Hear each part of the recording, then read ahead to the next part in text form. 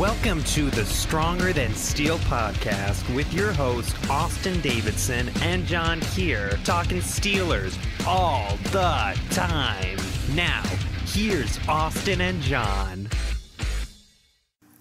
Hello, and welcome back to another edition of the Stronger Than Steel podcast. My name is John Keir, and joining me as always is my co host, Austin Davidson.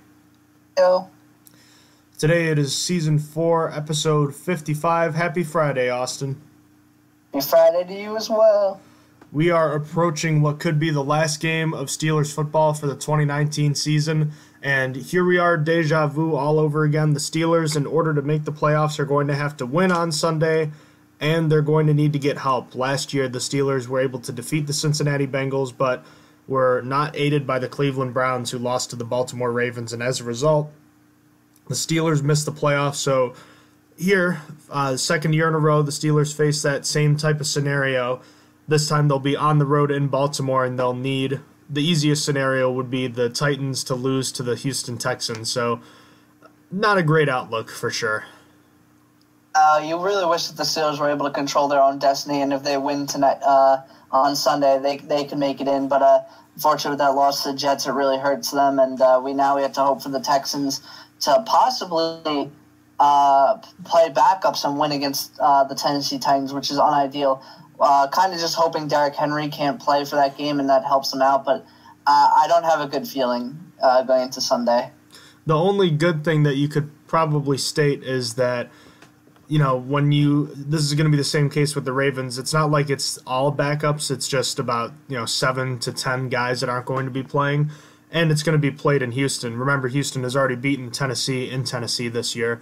But again, this is one team with a lot more to play for than the other. So I think that even though it's human nature to still play hard in these games, I think there's a, there's clearly a lot more on the line for the Titans in this one. Yeah, it's just gonna be tough. It's gonna be tough to uh, have to. It's gonna be tough for the Texans uh, outplay that because the Texans don't really have a lot to play for. Uh, especially if the Chiefs win. The Chiefs win, it's like the Texans could just sit Deshaun Watson from there, and uh, it doesn't help that that game is at one o'clock for them, so that they'll be able to know. Uh, basically, they won't be able to put out their inactive list uh, before that, so I'm sure they're going to go with the assumption that the Chiefs will lose, and they're going to not make like any of their starters inactive. I mean, no, they're just going to do that for that sake because you can't bet on like you can't bet on uh, bad things happening. You know, you have to hope for the best and just go on. But uh, they're probably going to end up benching uh, Watson as soon as they see that the Chiefs win. If maybe they'll play him for a quarter and stuff. So uh, that doesn't help. And do you have any problem with the way the NFL flex these games? Because again, it would have made more sense for maybe the Chiefs game, for the Chiefs Chargers game, the Texans Titans, and the Steelers Ravens game to have all been played at the same time. But uh, like you just said, there's a good chance the Texans will go into the game with nothing to play for whatsoever. Yeah, uh, I don't like it. I they did they flexed the Steelers one to 425. I believe they f- also flexed the t- Titans Texans game to 425, and they were both originally at one. But um, I mean, it is what it is. I guess you get unlucky and stuff like that happens. I really wish that uh, Tennessee wasn't uh, flexed at, uh, flexed up. I mean, if they if they and the Chiefs played at the same time, I'd be okay. And the Steelers played at 425 because at least then the Steelers know what's going on. The Steelers uh, can watch what the what happens with the two teams and see what happens. But I mean, it is what it is. I get why people are mad, but I'm still more frustrated with the Steelers than I am anything else. It's their fault for being in this position. 100%. So that being said, the Steelers in a game with, where they need to win, they are playing the best team in the NFL, a team in Baltimore that is 13 and 2 and won the AFC in terms of uh, home field advantage for the first time in their team's history. The only good thing about that is the fact that the Ravens are going to be resting several starters. So when you have a seven man inactive list, if you're just not going to include injuries, there's going to be a handful of players that the Ravens are going to be sitting, including guys like Lamar Jackson, Earl Thomas, Marshall Yanda, and Brandon Williams. Another player in Mark Ingram, their starting running back, is out with an ankle injury. There's still some moving parts though, but those seem to be the guys that definitely won't be playing.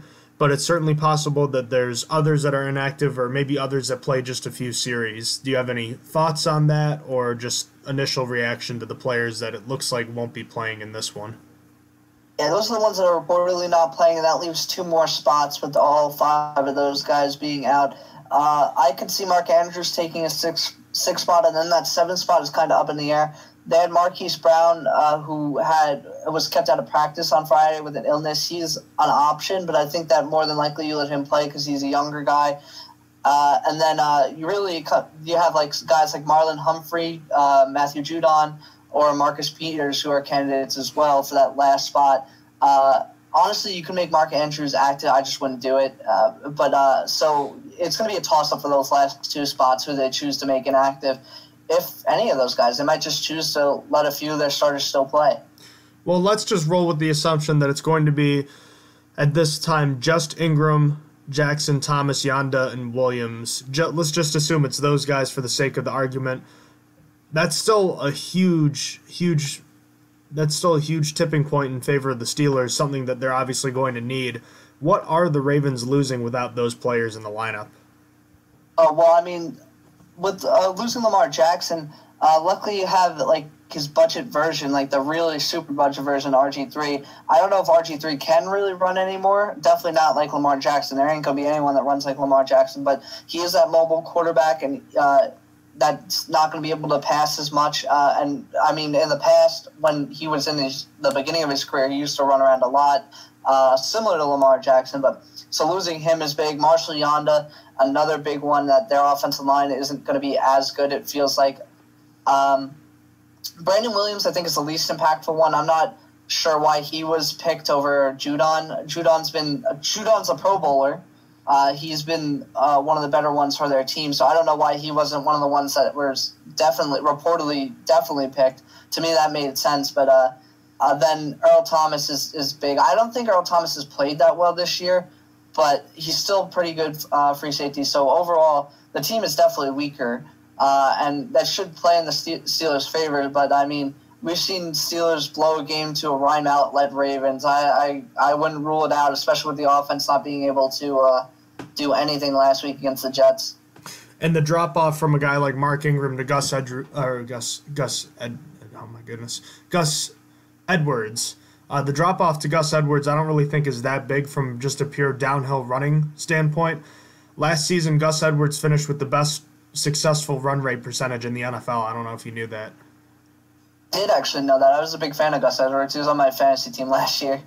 Yeah, I don't. I, I, I wasn't crazy about the fact that he he had such a reduced role because I thought he was so effective last year.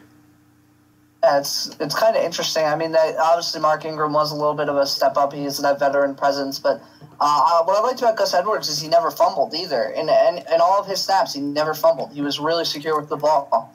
But uh, I mean, it is what it is. The Ravens chose to bring in extra help, and you know, it's not like it, it was a bad choice. I mean, Ingram has been fantastic.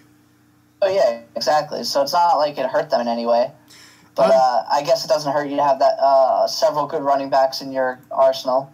On the Steelers side, there's a handful of players that are dealing with injuries. So we already know that Mason Rudolph was placed on injured reserve. He's out for the season.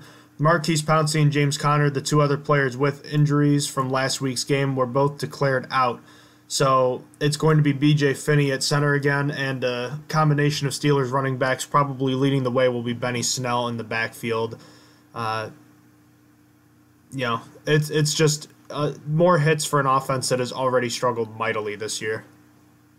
Yeah, it's not exactly great. You really don't like to see it. And with James Conner being out, like for what I think he's played in three of his last nine games, it's just really rough for him. He's had a really rough year, and for the most part, a really rough career with how injury injury wise it's been. I mean, when he gets on the field, he's pretty good, but uh, uh, it's just he's been struggling to stay on the field, and uh, availability is the best ability. It, it, it really comes down to that. So he's really been struggling, but I, I have hope that against a weaker defense, the uh, the other running backs will be able to step up.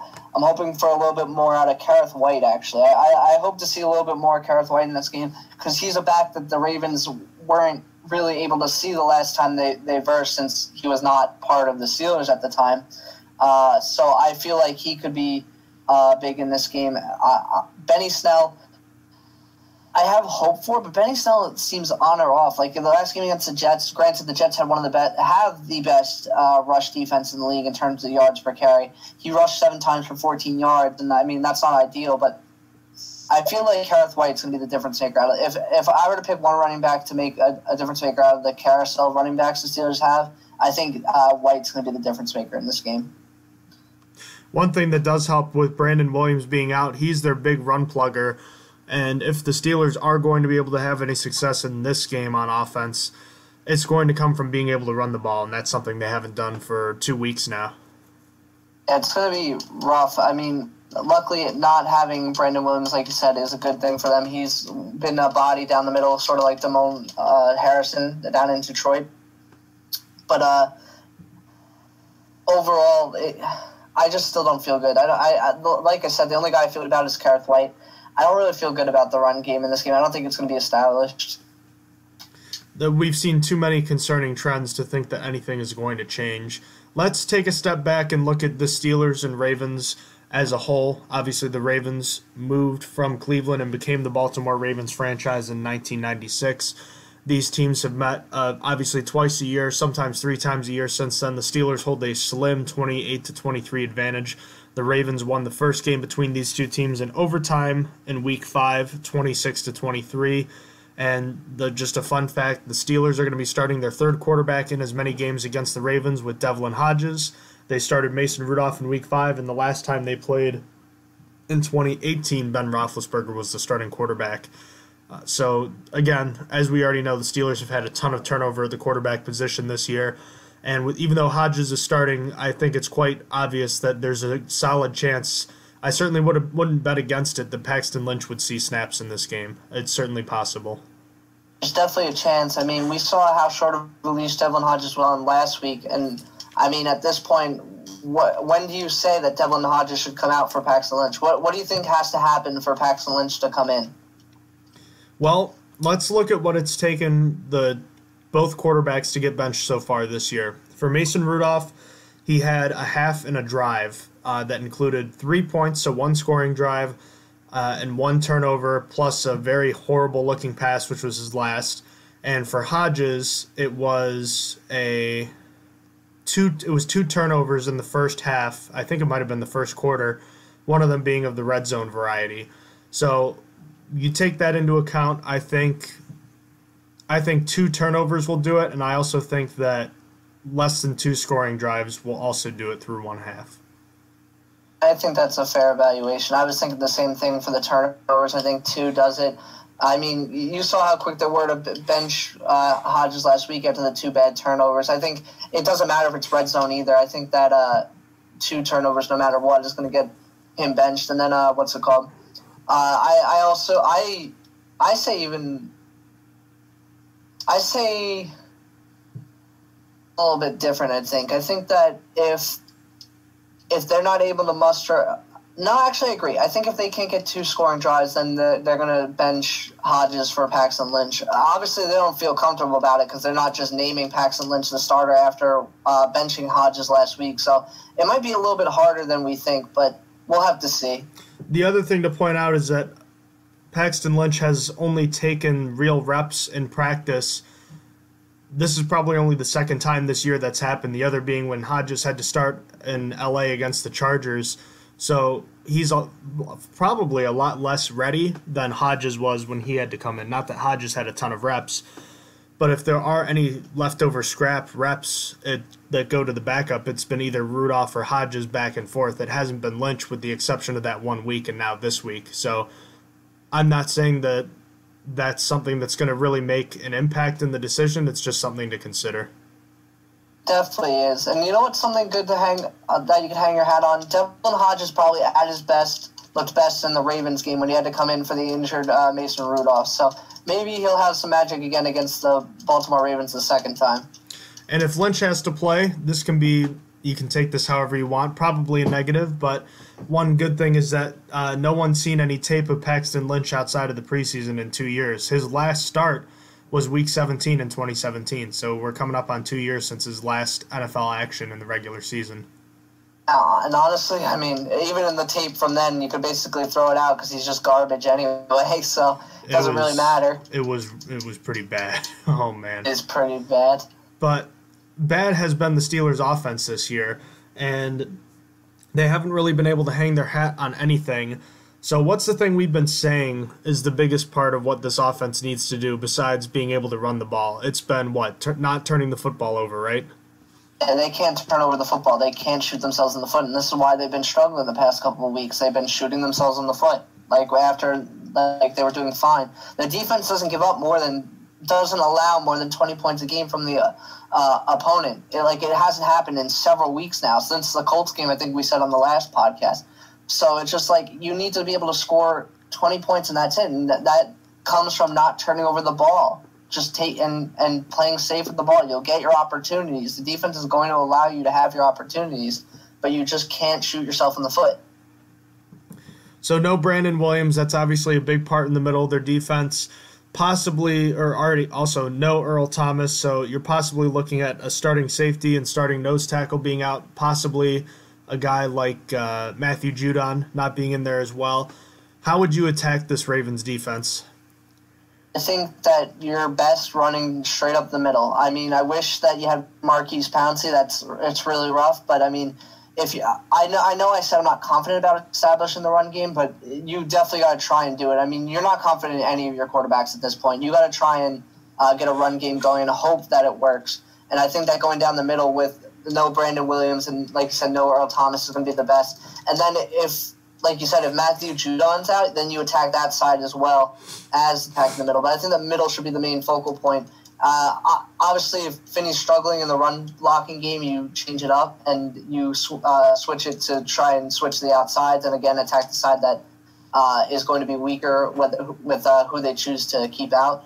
But um, overall, I think the middle should be the best because I mean their inside linebackers are also their starting inside linebackers aren't even that that good. I mean they had to sign Josh Bynes for the first uh, first meeting between these two teams, so it's just like I, I feel like the running down the middle is where you attack them. I'm not even though with no Earl Thomas, it, it sounds like it would be a good idea to do the deep throw. I just don't trust the quarterbacks we have for the deep throw right now. It's just it's not what I feel comfortable with, and especially if like Marlon Humphrey and Marcus Peters are still playing. Like at, at this point, either Marlon Humphrey or Marcus Peters is definitely playing. I think uh, one one or the other. There's there's just no possible way that they're both inactive. I think you got to make Mark Andrews one of the uh, two remaining spots inactive. So the cornerbacks are still going to be pretty solid, and uh, I I wouldn't want to attack those guys.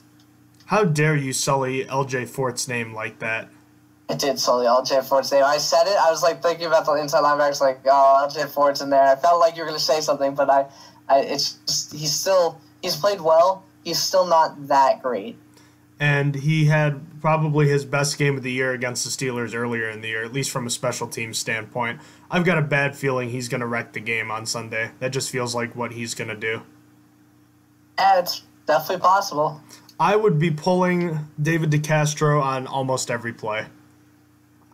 I, let him block for everyone. I, I kid a little bit. Obviously, that involves needing your left side of the line to block well, and they haven't the last two weeks. But I just I feel like we haven't seen a much of it the last two weeks. And like you said, I don't really know what you can do to get this ground game going. It's been flawed all year. Maybe this the last two weeks we've seen where the Steelers have really missed Mike Munchak, and again, it is a player execution issue as well. But we're seeing schematic issues in terms of the run coordination and in terms of pass protection. I think this is really the first time you can say you've missed Mike Munchak because this is the first time we've seen noticeable drops in what I, I what I point the finger at is coaching here. This is the first time I've been able to say that. Yeah, there's a lapse in coaching, which is really, really strange. It's un, it's unexplored territory for us for quite a while now. I mean, we've been spoiled with Mike Munchak's coaching for uh, the to scheme around like blitzes and twists and all this stuff. And now it's up to uh, uh, Shaun Sarrett. So, well, especially I mean, especially when yeah. you consider how they started the season. They had a couple rough games at the beginning of the year, but you wouldn't expect them to suddenly get worse at this stage of the season. You'd expect these struggles at the beginning, not at the end. Oh yeah, for sure. It's just it, it feels like teams should have if if, if say this. Like teams should have been able to catch on earlier if, uh, it was like mostly coaching. So I don't know. Maybe it feels like this is why it's a combination of things. It, it feels like if this was a straight up coaching problem, uh, teams would have been attacking earlier. I don't know if the Bills were just the first team to catch on and figure it out. Like, oh wow, we found where the, the problem is, and then the Steelers realized they couldn't fix it, but they definitely need to fix it for this last game. It's just they gotta they had to have schemed something in practice to block the blitzes that the Jets and Bills were sending at the Steelers.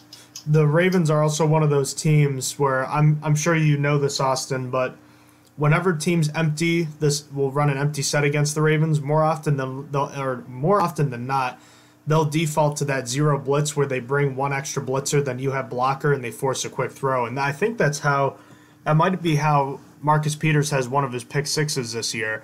That's like an automatic blitz call for the Ravens. So be ready if you're Duck Hodges to throw the ball early and quickly. And even though the DBs still scare me, I think you still have to take a couple shots in this game because if you don't, you're going to get suffocated out there. And it's probably still going to happen anyways. But you, I, I just I think you have to take your shots at some point here. I just think that the defense can contain the offense. I think the the def, the to me the Ravens defense isn't as hurt as their offense. Taking away the MVP from the team is just is just too much. And I, my last memories of RG three are not good ones. So maybe uh, I'm undermining him a lot. But I just think that the Steelers are going to have a lot of chances in this game, and this game is not really going to get away from them. Uh, I, I'm not even like I, I just feel like the, the it's going to be on the offense to, to try and win this, but I don't think the game is ever going to be with like out of reach. So I guess what I'm trying to say is like I, I don't even feel like the deep shots are required because I think that the Ravens offense is going to struggle so much that I don't think it's going to matter. So you think the Steelers are going to essentially have short fields on offense, to, and that's how they're going to score their points? I mean that that's fair because they did score seven of their ten points last week on a short field. Yeah, I think they're in much better position this week uh, for uh, for sure. Because with I, I just don't trust in RG three, and I mean if they're going to be down Mark Andrews as well, their wide receivers aren't really that good, and I mean. Uh, if Marquise plays, he's going to be a little bit under the weather. He's he was sick on Friday. I mean, he could be recovered by then. But uh, regardless, I just don't trust RG three. I think RG three is going to throw a lot of ducks uh, is from because he's not like Lamar Jackson. He's not as uh, he can't just rely on his legs in this game. Lamar Jackson has been literally riding this season on his legs. I've never seen a quarterback do what he's done because uh, he doesn't even throw that much in the game. Lamar Jackson throws when it's smart, and that, and that's all he needs. He doesn't throw all too much. I don't think that's going to work with RG three. RG three is not the quarterback he was in 2012. Uh, it's just it's not going to go the same way for him. I feel more comfortable and even last time when the Steelers versed Lamar Jackson, I'm talking Lamar Jackson all up like this. He threw three interceptions. I mean, I'm sure they're uh, going to do a little bit better if Lamar. They would do a little bit better this time if Lamar Jackson was playing. But I'm just, I'm just thinking that um, RG three is going to make too many mistakes, uh, especially compared to what Lamar Jackson would do if he was here. Lamar Jackson's three highest passing totals of the season were in the first three weeks. I don't know if you knew that. I actually did, and one of them was on like literally the back of Jesus Christ himself, Chiefs game when he gave up. He got two fourth down conversions on like the, literally he needed to to pray to Jesus for them to be completed. I don't know if you remember those. They're stuck in my head because I still, uh, I just. I, I remember thinking how the Ravens could be so lucky to, to get two fourth down calls on like fourth and 18. I do remember that. I just I think that if the Steelers are going to win this game, it's going to take more than just being able to take advantage of the turnovers you get, uh, because you also have to look at it. The Steelers have the worst red zone offense in the league, and uh, let's be honest, the game is won and lost on third down and in the red zone. So, oh, yeah, I mean, we already know about the Steelers' struggles on third down this year. It's just it's it's not going to be easy. We already know that this offense struggles with so much and I guess I don't really know what I'm hanging my hat on. Maybe you're hoping that Smith Schuster can come back with a better week this week. Maybe he can be a difference maker. I really think that you're going to need a couple of explosive plays. You're going to need one long touchdown drive to win this game. And while I don't disagree with you that I think the defense will play well, they also haven't been generating turnovers the way that they have most of the season the last two weeks. So I'm a little concerned from that standpoint, and I think that you're going to have to be able to you're going to have to score two offensive touchdowns at least in this game. Uh, I honestly think this is going to be a lower scoring game than that. Uh, I, I might be, again, I might be underestimating what RG3 can do. I just think that this game is going to be lower scoring than, uh, requ- like, really low scoring. I, I'm thinking, like, single digits for both teams, possibly, uh, is, is the thing that happens. Because I don't trust the Steelers' offense, but uh, then I don't trust the Ravens' offense against the Steelers' defense. So uh, I, uh, it's just, uh, I guess I view it just a little bit differently. Well, then let's look at the Ravens side. So they're going to be without one of their best offensive linemen in team history, Marshall Yanda. You already talked about Lamar Jackson not being there, and we talked a little bit about Mark Ingram not being there, but they've still got Gus Edwards and Justice Hill. Uh, here's something that I hadn't really thought about. So you talked about how Robert Griffin is, you know, the discount Lamar Jackson. Do you think there's any possibility that the Ravens, because you know Lamar Jackson plays a, a dangerous game, he's been healthy so far, but it can change in a hurry.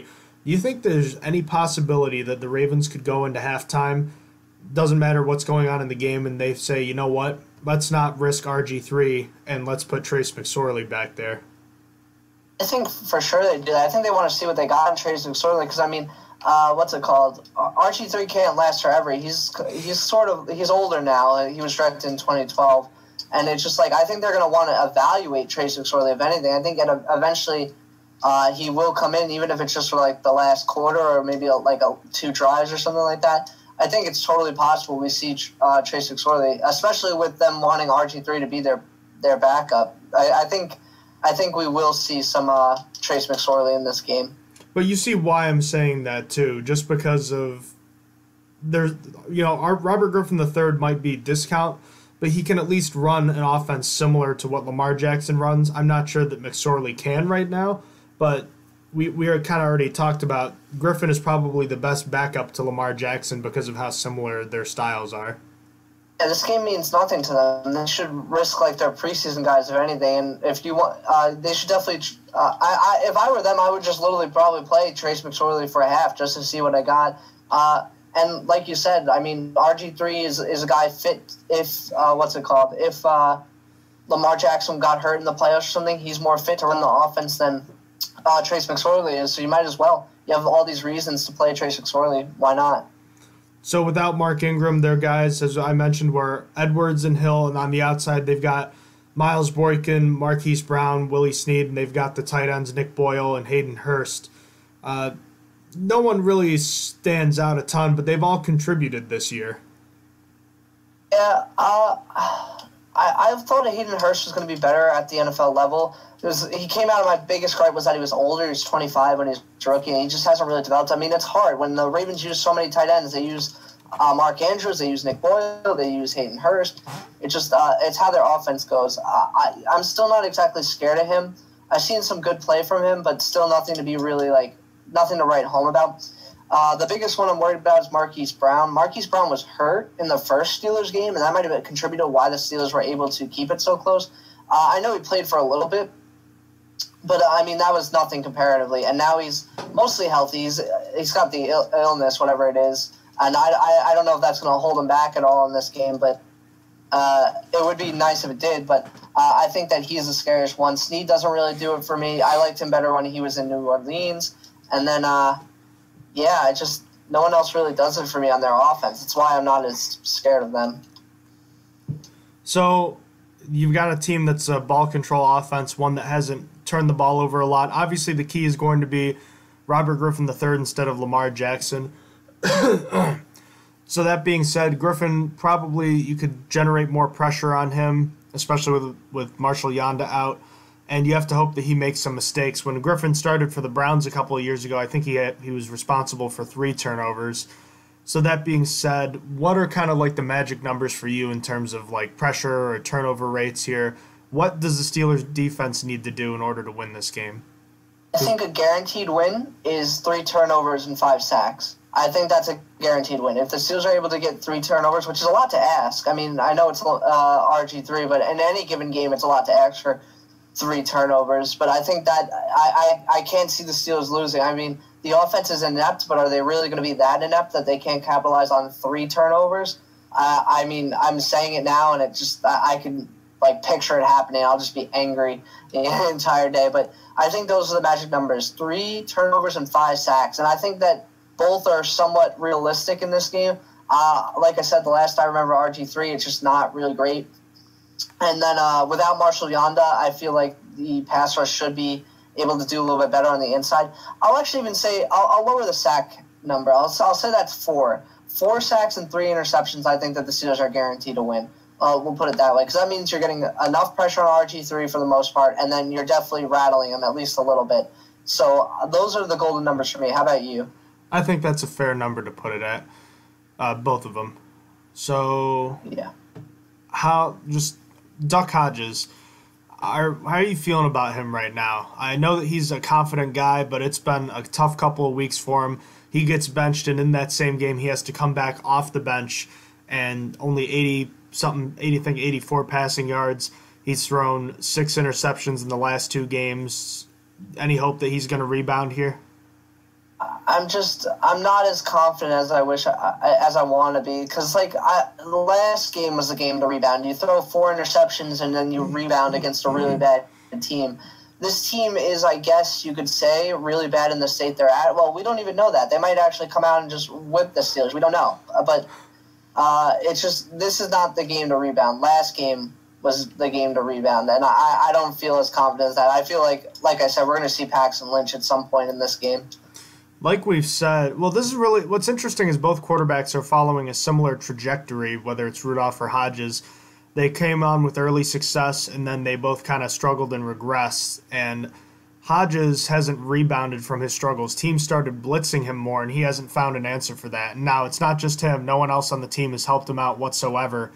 Uh, but he hasn't found an answer for when he's being blitzed, and um, until he figures that out, more struggles are going to continue.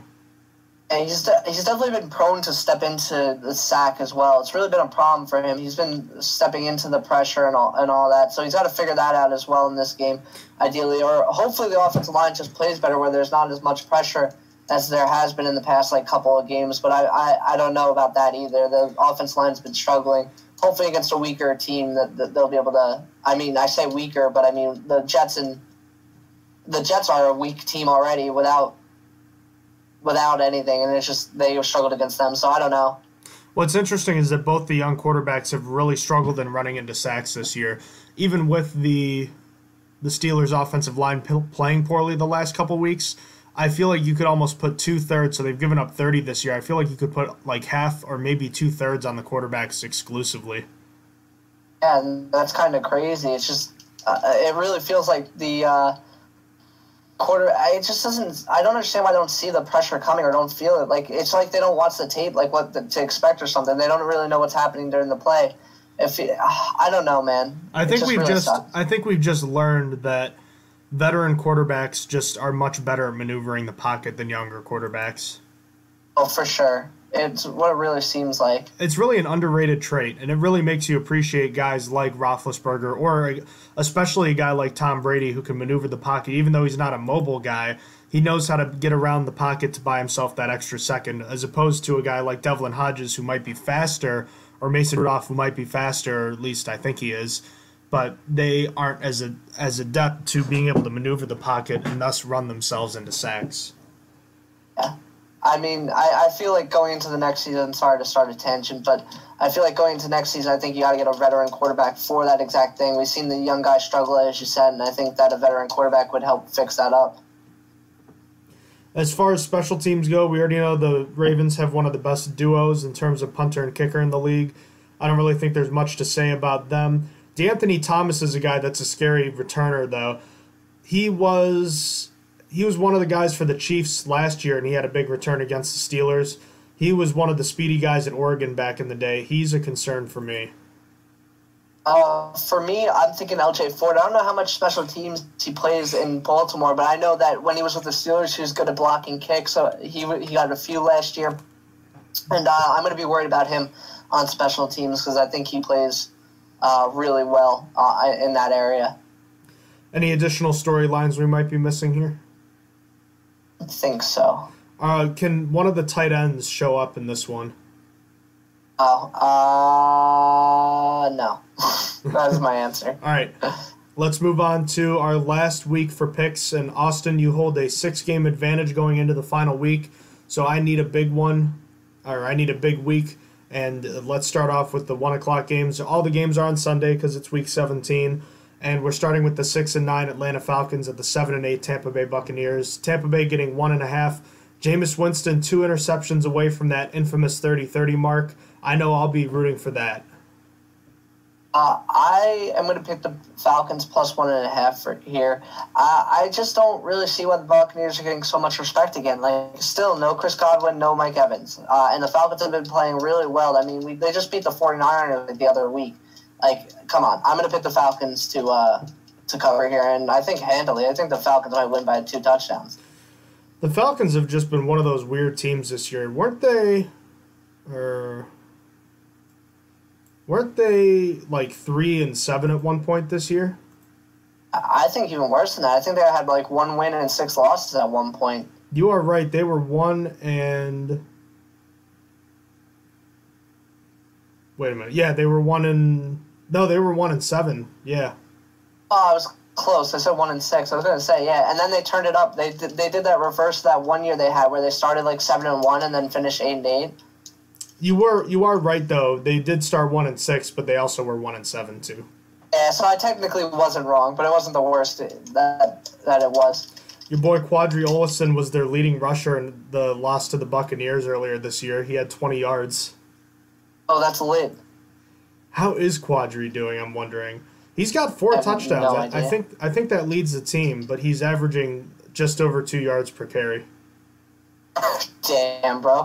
I guess they're just using him as a goal line back. Evidently, I mean, whatever works works, I guess. But anyways, I'll take the Buccaneers to cover because I'll be rooting for Jameis, and I got to pick against you this week. And yeah, just uh, I'll, I'm rooting for two picks from Jameis, and whatever happens after that happens. Man. Jets at Buffalo Bills. The Jets are six and nine. The Bills are ten and five. The Bills have locked up the five seed. Excuse me, the five seed in the AFC playoffs. They can't advance or retreat any further than the five seed. So they're likely going to be playing their backup. So even though they're favored by a point and a half at home, I'm going to take the Jets plus the point and a half. I'm going to take the Bills. I feel like the Jets are bad, and even though the Steelers lost them, it just says the Steelers are bad. Uh, I think that the Bills' backups could still beat the Jets, so I'm going to pick the Bills to cover here. You sure about that, dude? The Jets have won uh, three of their last, uh, or sorry, how many is this? One, two, three, four, five. They've won six of their last uh, eight games. I don't they only have five wins? Or sorry, I meant five of their last seven games. They have uh, they have six wins. I was so confused, but uh, regardless, anyway. Um, yeah, I'm sure. I'm positive. That game uh, in Buffalo, or sorry, in New Jersey at the beginning of the year, it feels like it could play out like that. The Bills won that game 17 to 16. I feel like that could be a very similar result in this one. It is possible. Bears at Vikings. Minnesota getting six and a half at home. I don't. Do the Vikings have anything to play for? Are they locked into the six, or can they still get the five? Don't actually know. I'm not sure. I know that they. I mean, we know they can't get the division now, so they're stuck between the six or the five seed. I know that. Well, actually, the one way to check this, the Seahawks are eleven and four, so they could finish eleven and five. Uh, they could tie with the Vikings. Let's do a quick uh, ESPN playoff simulator, and uh, you want to filibuster for a second? I'm sorry, what? Do you want to filibuster for a second? Do you know what that is? Uh, yeah, you stand in and talk for, for a while over it. Well, Yeah. I don't care. I'm still gonna make my pick regardless because I think I think that uh, I think the Vikings are gonna cover no matter what. Because I think the Bears. Oh, what's it called? I just don't like Mitchell Trubisky. Still, I mean, he's been playing better, but the Bears' defense hasn't been the same as it was last year. So, I am still going to choose the Vikings to cover, regardless of who they play. I just I like them better than the Bears. I know it's a it's a big line. I'm thinking the line says that the, that they're still playing for something. I think if Minnesota's favored by that much, I think they got to be playing for something. This what the Bears playing. Uh, what's it called? What the Bears having played better in the in recent weeks. as far as I can tell, there. Uh, as far as I can tell, uh, it doesn't change. Yeah, Minnesota's locked into the number six seed. Kirk Cousins reportedly to sit against the Bears.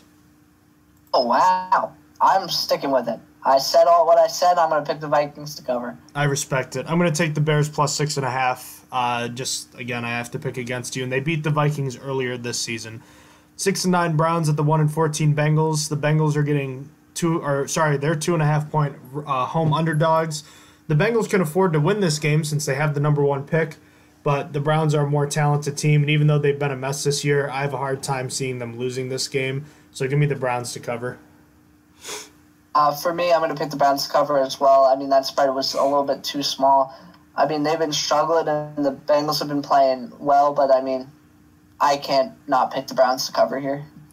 12 and 3 Packers at the 3 11 and 1 Lions. Detroit is a 10 and a half point underdog at home. I'll take the Lions plus 10 and a half. The Packers haven't been blowing anyone out recently. And even though they still need to win this game, the Lions, I think, are going to play them tough. They've recently activated on Johnson, so they have a nice weapon back on offense. For me, I'm going to pick the Packers to cover. I think that the Packers are going to play hard for their uh, trying to get a better playoff spot. And uh, I, I, think overall, uh, they're going to play better. I wish Jamaal Williams was playing in terms of for this. I mean, I have Aaron Jones in fantasy, so I'm hoping for Aaron Jones to go off. But I mean, uh, I think Jamaal Williams would have been a nice complementary back to have, and he's not going to be playing, so there is that. But uh, I'm going to still pick the Packers to cover. Five and ten Chargers at the eleven and four Chiefs. The Chiefs still have a shot at the second seed, so they have something to play for. They're a touchdown and a half favorite here at home. I think they're going to win by a lot. I just I don't have faith in the Chargers at this point. Uh, I will also take the Chiefs to cover. I, I don't have faith faith in the Chargers like you said. Uh, I don't really have much else to say about that game actually. Four and eleven Dolphins at the twelve and three Patriots. The Patriots are getting fifteen. It feels like the Dolphins should be able to keep this close, but since it's in New England and it's late December, I'll take the Patriots to cover. I don't know what it is about the Dolphins, but the Patriots seem to struggle against them the most, even when they're bad. So I'm going to pick them plus the points. It's just too big of a spread for an offense that hasn't been getting it together like whatsoever. So I will choose the Dolphins plus 15 and a half. 12 and 3 Saints at the 5 and 10 Panthers. These are two teams heading in opposite directions. A 13 and a half point spread is not enough for me to pick the Panthers. I, the Saints feel like the, they're playing the best football of any team in the league right now. Yeah, honestly, I just I, I the Panthers are starting Will Grier again, right? Like it's just automatic. I, I can't automatic. Yeah, I can't justify it. Like I, I don't know. It would be hard for me. Like if it was a twenty point spread, I, I think it'd be really hard for me to pick the uh, the Panthers still. Like I, I definitely I think I'd end up with the Panthers on a twenty point spread, but it's just like uh, the Saints should blow them out here. Like it, they should watch like the Panthers keep it competitive, but still, I'm going to take the Saints to cover here. Three and twelve Redskins at the seven and eight Cowboys. Dallas, like the Steelers, lost control of their fate for the playoffs. They're still getting ten and a half points here, but it, it's got the feeling of a team ready to implode. It seems like they're ready to hit the reset button. Yeah, I thought that spread was way too much. Uh, I'm going to pick the Redskins plus ten and a half in this this game. It's just I, I don't have faith like that in the Cowboys with how bad they're playing. We saw them lose to the, the Eagles. Eagles don't have like any wide receivers or any defensive backs, and the defensive backs were able to shut down the Dolphins enough. Like, and that was just really sad to me. So, uh, I, I just I'm gonna pick uh, I'm gonna pick the Redskins plus ten and a half. This would just be the biggest middle finger to Dallas fans everywhere if they go out there, blow out the Redskins, and still don't make the playoffs. And that's what I'm predicting will happen. I think that's fair. Totally could see it happen. Seven and eight Raiders at the six and nine Broncos. The Raiders actually still have a chance to make the playoffs. They're the least likely of the outside teams looking in, but it's still possible. But that being said, the Broncos have been a different team with Drew Lock this year. Even when, even though they got blown out by the Chiefs a couple weeks ago, they're playing like a much better team. Remember, they started very slow too. I like the Broncos to cover three and a half points. Uh, I also like the Broncos to cover three and a half points. I just think that they're the better team, and I mean the Raiders don't have Josh Jacobs, and to me, Josh Jacobs would have been the difference maker. So I am going to choose the uh, Raiders to not the Raiders. I'm sorry. I'm going to choose the Broncos to cover. The seven and eight Colts at the five and ten Jaguars. The Colts are getting three and a half on the road. I just don't trust the Jaguars right now. So I'm going to take the Colts to cover, even though they haven't been playing particularly great this year. I just think they're top to bottom a better team. I agree. I think that the Colts are going to cover here. I it just Jacksonville hasn't played well at all, especially in recent weeks. Like the best they did was against the Raiders, where they came back, but like the Raiders were playing bad at the time. So I just I don't trust them at all. Cardinals at five nine and one at the eight and seven Los Angeles Rams. The Rams just got eliminated from playoff contention, but they're still seven and a half point favorites. Due in no small part to the fact that Kyler Murray might not play in this game. He's a game time decision. So with that in mind, I think the Rams will win this game by a little more than a touchdown. The NFC West is weird, I will grant you that, and I know that you will acknowledge that. But I am going to err on caution here and say that Kyler Murray is not going to play. Yeah, to me, I, I don't see why you play Kyler Murray. You're now, this is the last game uh, of the season. You got to go into next year and hope that your rookie quarterback is uh, your well now it would be your sophomore quarterback, but you want him to be healthy. I wouldn't risk it in this game, and I, I mean it gets you a better draft pick. The Cardinals didn't trade away their uh, first round pick, so to me, I, it's just not worth it at all for me to play Kyler Murray. So I think that they're not going to play him. And that being said, uh, who is their backup? I'm still going to pick the. Car- ah, that's a good question. Uh, I was going to pick the Cardinals plus seven and a half without even knowing. Uh, Let me check that for you right now. Their backup, according to ESPN, yeah. so take that as you will, is Brett Hundley. That's right. Brett Hundley, the old uh, Packers and Browns backup. Oh, cool. Good for them. Uh, I still, I, I, said what I said again. I'm sticking with the, uh, I'm sticking with the Cardinals plus seven and a half. Hundley has thrown ten passes this year. He's completed four of them for 49 yards. Oh, how you? Sorry, I pulled up his page and it started playing uh, an ESPN video. I hate ESPN. I hate them for that. Like they're just the worst and it's what's annoying is that you can mute that, and if I pull up another player's, it'll unmute it. Yeah, like, you, you sure you don't want to hear it the first time, sir? Are you sure? I hate that stuff, but anyways, uh, you are still taking the Cardinals plus seven and a half, correct? That is correct. Okay, and I'll take the Rams lay seven and a half for me. Uh, the other NFC East game, this one is the eight and seven Eagles at the four and eleven Giants. Giants are plus four and a half right now. I'll take them plus four and a half. I know that the Eagles were able to beat the Cowboys by eight last week. I just have a hard time thinking they'll be able to blow out anybody right now, uh, including the Giants. They struggled with them a couple weeks ago in Philadelphia. I think the Eagles get the win. I'll thread the needle here, but the Giants will keep it close. Make it a field goal game that'll up, upset Cowboys fans even more because the Cowboys will blow out the Redskins and the Eagles will scrape by, but will still win the division because of it. Yeah, that that would hurt for the Cowboys. I'm going to pick the Eagles to cover. I think that they can win by five points against the Giants. I just think that the uh, Daniel Jones led Giants are turnover prone, so I will choose uh, the Eagles to cover. Are the Giants the only other team with more turnovers than the Steelers? It feels like I feel like they're one of those teams. I mean, obviously the uh, the Buccaneers have to be one of those teams too. But uh, yeah, the uh, the Steelers aren't even in uh, thirtieth. I think they're in twenty seventh for turnovers with twenty eight. Daniel Jones only has uh, eleven interceptions. I'm sure he's fumbled the ball a lot though. Yeah, I, that's probably it. One last four o'clock game. This is the one that Steelers fans are going to be paying a lot of attention to is the eight and seven Titans and the ten and five Houston Texans. The Titans are four and a half point favorites because the Texans may not have anything to play for. Let's talk a little bit about this game. So the Steelers are going to need the Texans to win this game, and we talked a little bit about it off air. But the Texans are home. They did beat the Titans earlier this year, but it, you have to think that the Titans are a team that should be able to win this game given the circumstances. Yeah, uh, I'm basically pick, picking the Texans plus four and a half with just hope. Hope that the Texans pull it out and win this game, but I'm not exactly confident. I think the Texans are going to end up benching their starters, and uh, after the first quarter, and I just think that uh, because of that, uh, the Titans are going to be able to win, even if they don't have Derrick Henry. Uh, it's just, it is what it is. Yeah, the Titans have a lot more to play for. Look, it would be as disappointing as it would be for the Steelers to not win the game on Sunday. I think that there's a lot of people who think that the Ravens should still be able to beat the Steelers.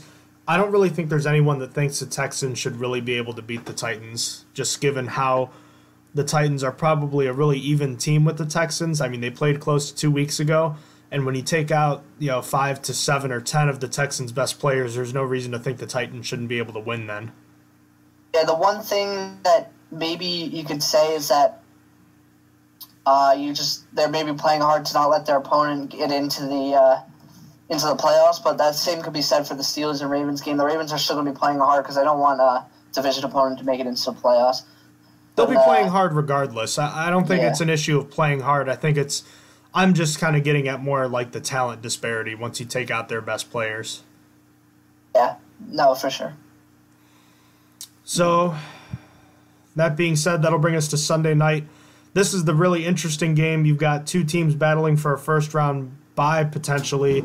In the 49ers at 12 and 3 who haven't played very well lately. They're 2 and 2 in their last 4 or the 11 and 4 Seahawks who did beat the Niners earlier this year and are home, but they've also lost their top 3 running backs and are going to be turning to Robert Turbin and Marshawn Lynch to carry the rock. So the Niners are now three and a half point favorites. This should still be a pretty fun game, I think. Yeah, I still feel like the Seahawks are going to keep it within three and a half, even if they lose. So I'm going to pick Seattle plus three and a half. I think that Seattle's going to win, though. I have a funny feeling. Like I, I don't know if anything special is going to happen, but uh, I think that the Seahawks should come in here, and I mean it's at home, it's in the 12th man, and that's always hard to play. And so uh, I'm going to pick the Seahawks plus three and a half. You know what's interesting is you might initially think the Niners should win because of all the injuries to the Seahawks running backs. But you know what's interesting? I think this is Jimmy Garoppolo's first start in Seattle, right? Uh, I think so. Uh, I believe so. So you couple that with the fact that this is not the first time, believe it or not, that Russell Wilson's had to carry this team. You know what I mean? I mean, how, how many times has he done this over his career? Oh, a lot. There was a time where there was no offensive line at all in Seattle. And now it's still they still don't really even have that great of an offensive line, but it's better than what it was. I think that there's a legitimate chance that Russell Wilson can kind of put the team on his back here, and the Niners have struggled. They gave up 29 to the Falcons, 46 to the Saints, and 31 to the Rams the last three weeks. Uh, I'm talk. I'm trying to talk myself down here. I'm still going to pick the Niners to cover just because I think it's a lot for the Seahawks to lose their top three backs. But I, I think that this is going to be a close game, and I think all the Niners are going to win by a little more than four, four or more in this case. But I think this was easily the best game to flex, and they made the right choice. But yeah, I mean, it's coming down to who who's going to be a, a fifth seed or who's going to be uh, like I don't I don't even know. Does whoever win this have a chance at the first round bye? I think so. Well, the Niners do. The 49ers do. I think it. I think the Niners do, and if the Seahawks win, I think it depends on what the Packers do. So this has a lot of implications for a lot of teams. It most certainly does. So it's it's a big deal for sure. Let's get into some Steelers news. Just two quick things to mention. Number one is that Devin Bush won the Joe Greene Award, which is annually awarded to the, to the Steelers' top rookie. Bush is second on the team in total tackles with 97 to go with one sack, a forced fumble, and two interceptions. And all of this is impressive because he has split time with other inside linebackers, Mark Barron and Vince Williams, this year. Certainly a well deserved honor, but we were talking a little bit yesterday about how even though Bush deserves it, Diontae Johnson should be, you know, an honorable mention as well. He's six receptions away from the team rookie record for catches in a season. And there's a good chance that he leads all rookie wide receivers in catches this year. Uh, Terry McLaurin, who was three catches ahead of him, has been declared out for the Redskins. So he's got to make four catches to lead all rookies in uh, in in catches this year, and then he's also just got to outpace uh, DK Metcalf, who Metcalf has is three catches behind Johnson right now. So uh, I mean, there's a good chance, and honestly, it should have been. I, I thought they could have been uh, co-winners of this award because uh, because they've both done some incredible stuff. But I mean, I, I do understand why Devin Bush won it. I mean, Devin Bush, if he was given more playing time, would have probably put up even more incredible stats. So there's that. It is impressive though that Bush has done pretty much everything that we've expected that he could do but he's still been limited in his playing time, and he's almost been kind of forgotten at times because of it. Yeah, and it, it's almost unfair because I think if he got more playing time, he could have like into like 110s of tackles. Completely agree with you. And as far as Johnson goes, man, not bad for a guy that I thought was going to catch less than 30 passes, a guy that was, you know, supposedly worried about hitting the rookie rookie wall. And here we are. He's still playing great, uh, at least compared to what we thought uh, going forward. Yeah, honestly, great from him. And he's always going to be tied to the Antonio Brown trade, so that's just something else to mention. Oh yeah, that's going to be fun throughout his whole career. I'm sure he'll get tired of it. And if you want to talk about drawing, you know, the whole trade thing tying each other together, Diontae Johnson will always be uh, will always be kind of linked to Santonio Holmes then by proxy. Isn't that kind of interesting? Yeah, it's kind of crazy how the uh, wide receivers are all connected. Steelers still know how to draft him, that's for sure. And then the second note was that Cameron Heyward won the Chief Award for cooperation with the media. And I know that that might seem kind of trivial, but I thought it was kind of nice to see that he won the award because if you want one guy on your team to be really good with the media, you'd want it to be your team captain. And I think that he's represented himself well in this instance. Yeah, Cameron Heyward was a good uh, uh, good choice for this award. I feel like every time he talks to me, he's always saying the right thing. So I, I thought this was a good choice. Free agent wide receiver Antonio Brown was one of six players that the New Orleans Saints brought in for a workout today. On Friday, the Saints coach Sean Payton talked to reporters later in the day, said that despite the workouts, the Saints had no plans to sign any of them at this point. With the NFL's legal investigation on Brown still ongoing, it's likely he'd be placed on the commissioner's exempt list if he would sign somewhere until the investigation concludes, of course. Brown has played in just one game, which was week two for the Patriots in 2019. Do you, what do you make of this right now? Uh, honestly, I think the Saints were just doing their due diligence. They, they said that they were doing it just in case the injury happened, and I mean, all everything points that they didn't sign anyone and uh, they were well, they are waiting to see if Antonio Brown uh, would be able to play for the playoffs to be able to sign him. Uh, that would be a really nasty wide receiver core with Antonio Brown and Michael Thomas. You'd have like the best, and I mean, no, you can't say. I can you say second best wide receiver if he hasn't played like in NFL like together. I mean that at at points they've both been the best wide receiver. I think Michael Thomas is the best wide receiver this year. I mean, he broke the reception record, and uh, at times Antonio Brown has been the best wide receiver. It would have been nasty to have have them together, but I don't think it's going to happen. I want to know who else the Saints brought in. Who are those other five guys? Uh, I don't really remember. I know one is Maurice Harris, the old uh, Redskins wide receiver. I don't know the other four. Where's Justin Hunter? He's still no, on the team, isn't he? Sitting at home. Isn't he on a team, Justin Hunter? I don't think so. I.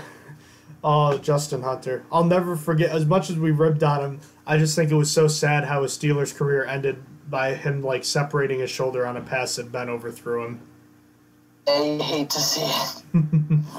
All right, let's get into the Steelers game one last time. X Factors and Bold Prediction. I have a trivia question for you, Austin. The Steelers uh, are looking to continue an impressive winning streak. They've won 11 straight games in the season finale. They've beaten the Browns a whole bunch of times, but this year they finished with the Ravens, obviously. So my question to you is, who was the last team the Steelers lost to on the in the season finale, which would have been what did I say, 11 years ago? Yeah. Ravens in 2007. Yes, sir. You are correct. So you can choose to defer or take the first pick. But in that uh, in that game 11 years ago, it was Troy Smith and Charlie Batch starting. So uh, just kind of interesting. It was not a meaningful game for the Steelers. That's why Batch was several times. The big plays, they're probably not going to come in the passing game. And as far as the ground game, it's been pretty much stuck in neutral aside from a couple of big runs from uh, Benny Snell at points this year. Kerrith Whyte's been that spark plug for him.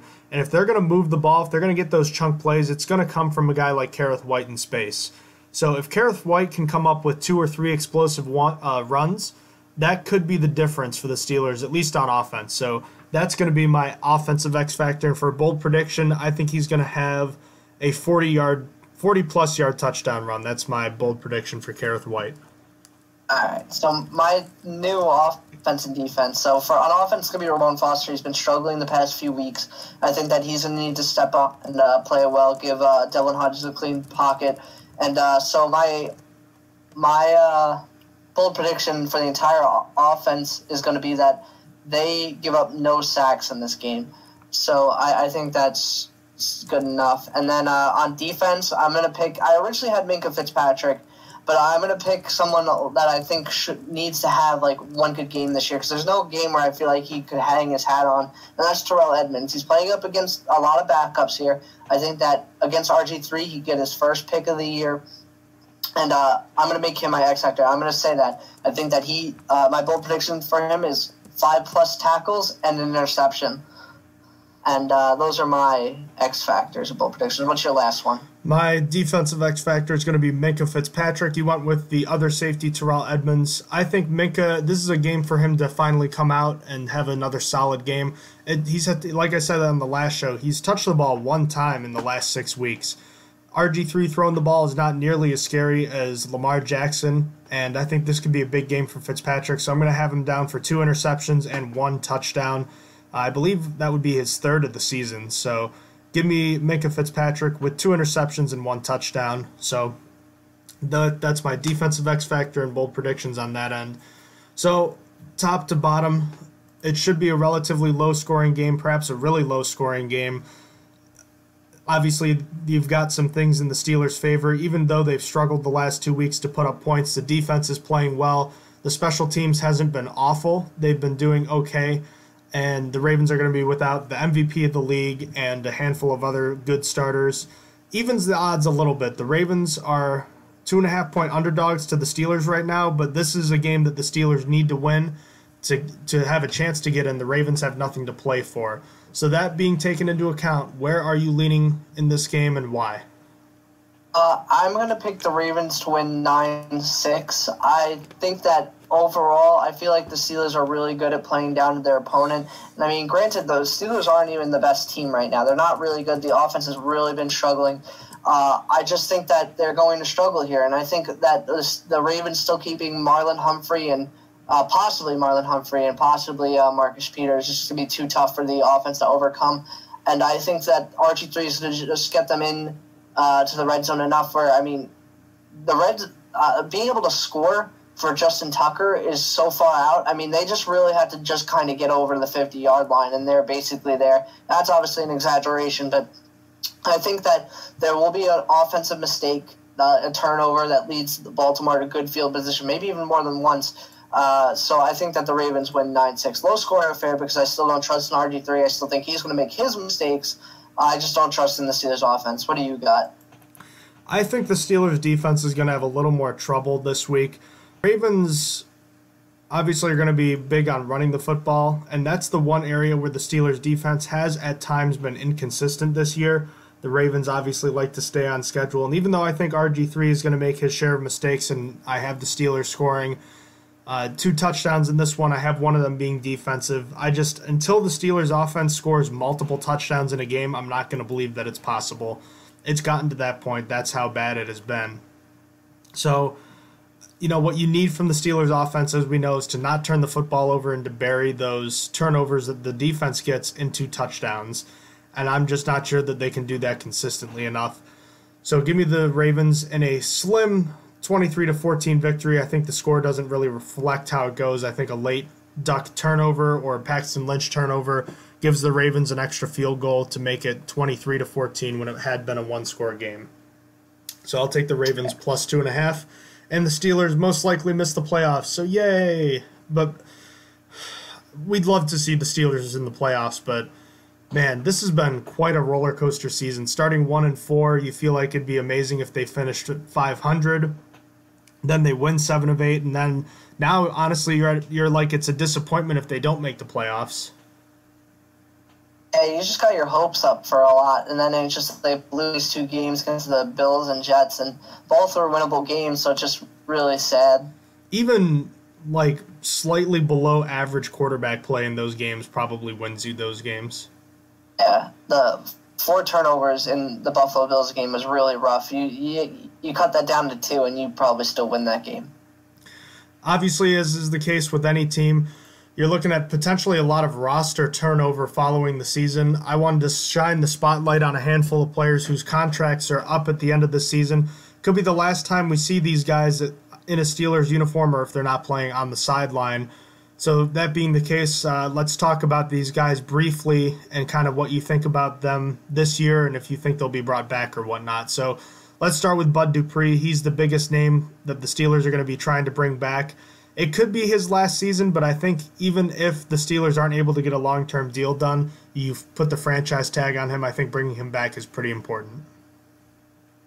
But to end up king as a Steeler, I just they could let him go after having a season like this. I just hope that it wasn't because he was in a contract year that he was playing this at a high level. I hope that he can continue it. I although I understand people's concerns, I think the biggest thing is just that he's been healthy this year. Yeah, sure. Javon Hargrave is the other big defensive piece that's a free agent. Unfortunately, I think it's just quite frankly impossible that he comes back unless if for some reason he takes way below market value, which he has no reason to. He's going to be gone. And on Bud Dupree's sack last Sunday, man, he he made a fantastic play. That dude is going to get paid.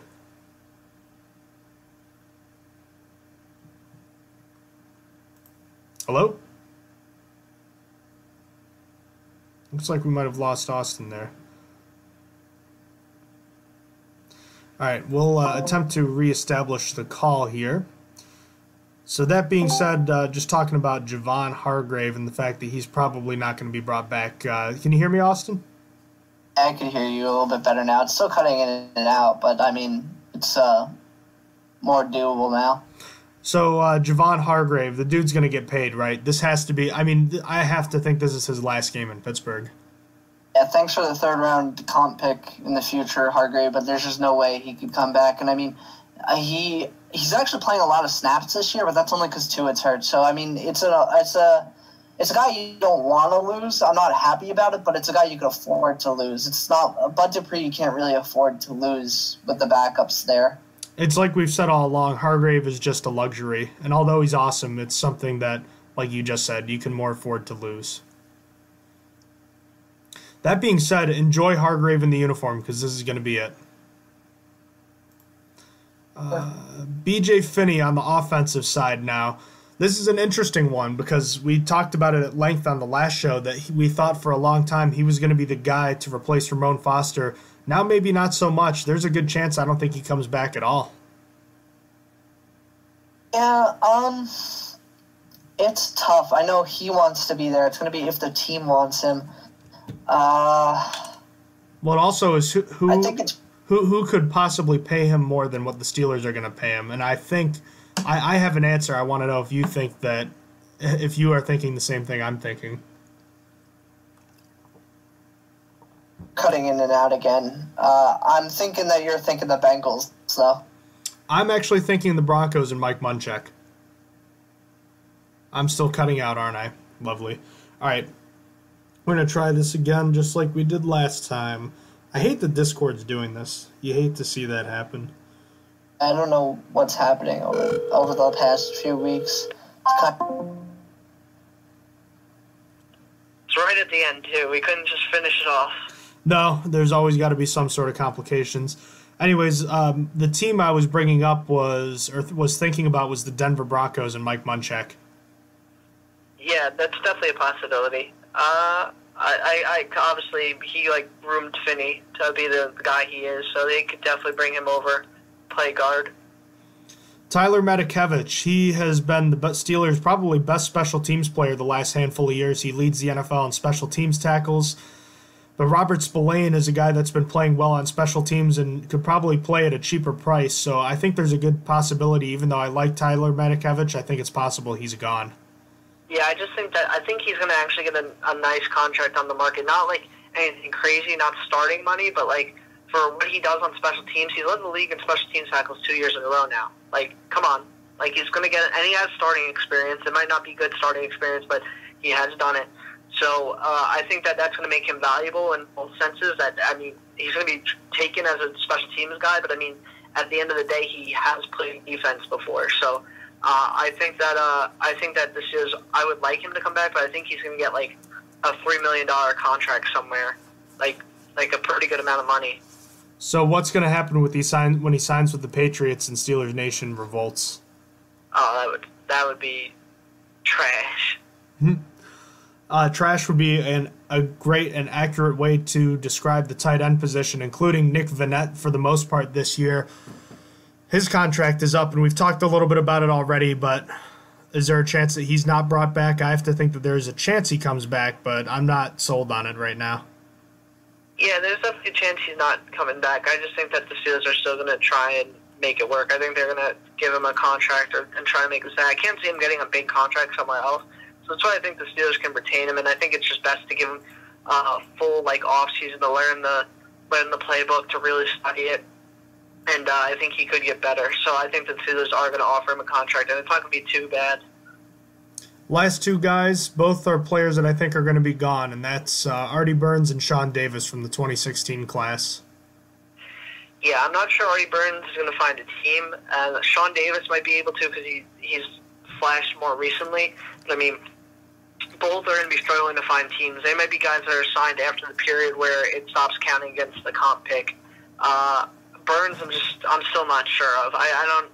I just don't think he's going to be able to find a team with how bad he plays special teams. It's going to be hard for him. I think they'll both find training camps, and I think Davis will have a shot to play significant snaps, but neither are going to get paid much. Yeah, I mean, you think of it. Jarvis Jones even found a training camp, and they yeah, Jarvis Jones, in my opinion, was worse than Artie Burns. So, you know. So here we are, just uh, probably a couple months away from the first three picks of the 2016 draft class all three defensive contributors, and they seemingly had a bright future in 2016 and 17. But I, I mean, Hargrave has played well, but the top three guys are going to be gone, and two of them have been not very impactful lately. No, and they didn't even elect to keep take Sean Davis off of IR, which I don't know why that worries me, but. He might uh, still be hurt though. That's the thing. I'm not. I yeah, mean, we we don't know. We're not going to know, but that's a possibility. Yeah, I guess so. All right, so Austin, this could be the last time we're previewing a Steelers game for the season. I, I really feel like it shouldn't be ending this week, but I mean, it very well could be over. Yeah, I just hope they end it with a win. I hope we're not being really depressed where it's like a big loss and then just like the Titans. Uh, what's going to really hurt is if if the uh, Steelers and Titans lose. Like that's that's going to really hurt at the heartstrings, and the Titans still make it. I forget what has to happen because I don't know if we talked about it, but the Steelers could still make the playoffs if, if the Steelers and Titans both lose. But it's more than likely the Titans would make the playoffs if the Steelers and Titans both lose, and then the Raiders have a chance that happens as well. But yeah, above uh, everything, just win. Yeah, just end the season strong. I I just want to prove my friends wrong. Uh, I don't. I forget if I discussed this with you, but I'll say it on the podcast. Before the season even started, uh, my, Bills fan friend and my Jets fan friend, which is uh, ironic. I was wishing it happened one of the past two weeks. Uh, they said that the Steelers would be lucky to finish with more than six wins. I told them they're going to go nine and seven, and this was before obviously Ben Roethlisberger was hurt and uh, stuff. And I'm waiting to use that screenshot of where where I said that they'd go nine and seven and just say I knew what, what my team would do, and I was under the impression that they had Ben Roethlisberger the time. So uh, I'm hoping for this one last win to so I can just prove my friends wrong. In the meantime, if you have any questions about the show, please feel free to email us It's stronger than Steel Podcast at strongerthansteelpodcast at gmail.com and check out our website, strongerthansteelnfl.blogspot.com. We hope you've enjoyed listening to us this season, and hopefully, we'll be talking about a Steelers win and uh, hopefully a playoff appearance next week. But in case it isn't, we wanted to th- uh, we wanted to thank you for listening this year. And uh, hope you stay listening if uh, the season does end. We'll be talking about wrapping up the 2019 season, and then we'll be getting into draft coverage, which, I mean, I'd rather not do it this early, but at least it's something to take your mind off of what happened. Yeah, hopefully we don't get there that soon. And if we don't podcast before it, uh, Happy New Year to everybody. Enjoy 2020. It's, we're entering a new decade. Uh, happy New Year. Favorite Steelers memory this decade, real quick. Oh, the Immaculate Extension. Quite fair. I was actually going to go with that as well. Uh, runner up would probably be, at least for me, beating the Jets in the AFC Championship game in 2011. Oh, yeah. I just, I, I can't remember a better feeling than seeing the Immaculate Extension Like the only thing that comes close is all it's something similar. It's just the game didn't mean as much. But I think of Le'Veon Bell stretching over the last three seconds in the Chargers game where Mike Vick was starting, and like it's like those endings that are just like that, that last effort. Like it, it's that it, it's those, you know. Yeah, it's those. It's those season-defining and uh, you know game-defining plays. Yeah, exactly. So, uh, until next time, thank you as always for listening to the Stronger Than Steel podcast. Happy New Year and have a terrific uh, start to your 2020. Take care, everybody. Bye, guys. You have been listening to Stronger Than Steel podcast. Thank you for joining us today, and don't forget to check out our website listed in the description below.